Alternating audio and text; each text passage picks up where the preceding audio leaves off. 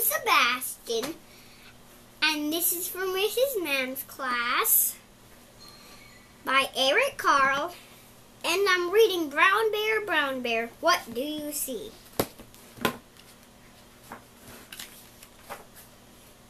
Brown Bear, Brown Bear, what do you see? I see a red bird looking at me. Red bird, red bird, what do you see? I see a yellow duck looking at me. Yellow duck, yellow duck, what do you see? I see a blue horse looking at me. Blue horse, blue horse, what do you see?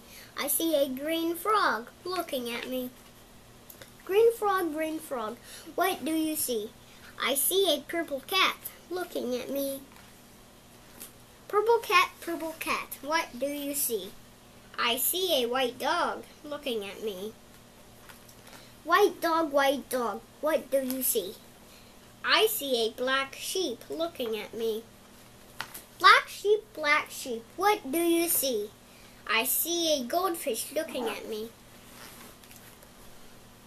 Goldfish, goldfish, what do you see? I see a teacher looking at me.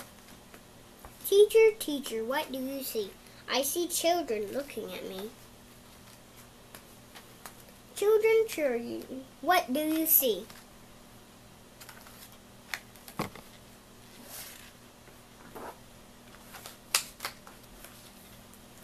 We see a brown bear, a red bird, a black sheep, a goldfish, a green frog, a yellow duck, a purple cat, a blue horse, a white dog, and a teacher looking at us.